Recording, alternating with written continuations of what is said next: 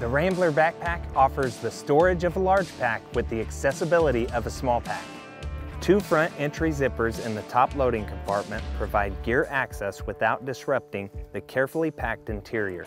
A top lid compartment, two side pockets, front shove-it pocket, and four compression straps present ample storage options for whatever doesn't make it into the main section.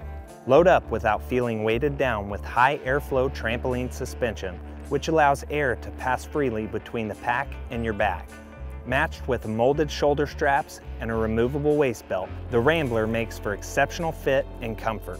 To learn more about the Rambler backpack, visit us at tenzingoutdoors.com.